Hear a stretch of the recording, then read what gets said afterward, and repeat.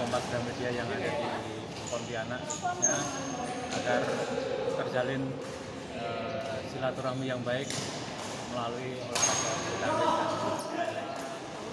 Karena ya emang udah dari tahun-tahun sebelumnya olahraga yang dipertandingkan dalam utama cup adalah badminton, eh, tenis meja dan futsal. Jadi ini masih sama dengan tahun-tahun yang lalu. Alasannya apakah karena banyak yang meminati olahraga ini atau eh, karena banyaknya para grup itu atlet-atlet eh, badminton?